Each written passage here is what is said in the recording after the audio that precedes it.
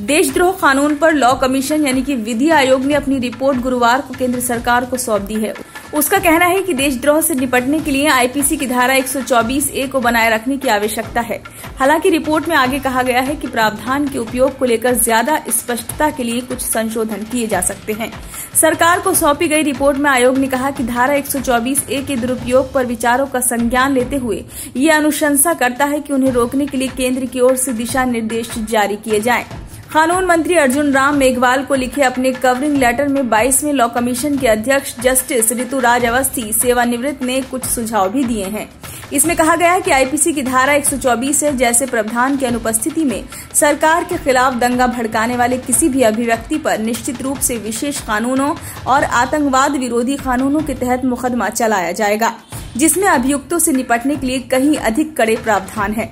Report में आगे कहा गया कि सभी देश अपनी स्थिति को देखकर फैसला लेते हैं। इसलिए आईपीसी की धारा 124 ए को केवल इस आधार पर निरस्त करना कि कुछ देशों ने ऐसा किया है, ये ठीक नहीं है, क्योंकि ऐसा करना भारत में मौजूद जमीनी हकीकत से आके मूंद लेने की तरह होगा।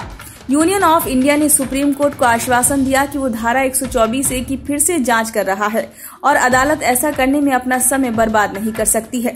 उसी के अनुसार शीर्ष अदालत ने केंद्र सरकार और सभी राज्य सरकारों को धारा 124 ए के संबंध में जारी सभी जांचों को निलंबित करते हुए कोई भी प्राथमिकी दर्ज करने या कोई कठोर कदम उठाने से परहेज करने का निर्देश दिया। इसके अलावा ये भी निर्देश दिया कि सभी लंबित परीक्षणों, अपीलों और कार्यवाही को स्थगित रखा जाए। रिपोर्ट में बताया गया कि इसे निरस्त करने से देश की अखंडता और सुरक्षा पर प्रभाव पड़ सकता है। अक्सर कहा जाता है कि देशद्रोह का अपराध और औपनिवेशिक विरासत है, जो अंग्रेज़ों के जमाने पर आधारित है, जिसमें इसे अधिनियमित किया गया था। विशेष रूप से भारत के स्वतंत्रता सेनानियों के खिलाफ इसके उपयोग के इतिहास को देखते हुए ये बात कही जाती है।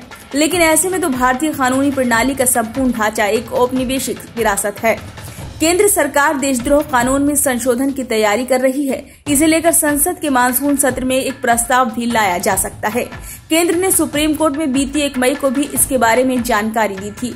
सरकार का कहना है कि 124 ए की समीक्षा की प्रक्रिया आखिरी चरण में है। बता दें कि कानून की वैधता को चुनौती देने वाली याचिकाओं पर सुप्रीम कोर्ट सुनवाई कर रहा था। गौरतलब है कि सुप्रीम कोर्ट ने बीते साल मई के महीने में देशद्रोह कानून को स्थगित कर दिया था। तब राज्य सरकारों से कोर्ट ने कहा था कि केंद्र सरकार की ओर से इस कानून को लेकर जाँच पूरी होने तक इस प्रावधान के तहत सभी लंबित कार्यवाही में जाँच जारी न रखें। जो केस लंबित हैं, उन पर यथास्थिति बनाई जाए। ब्यूरो रिपोर्ट, नई दिल्ली।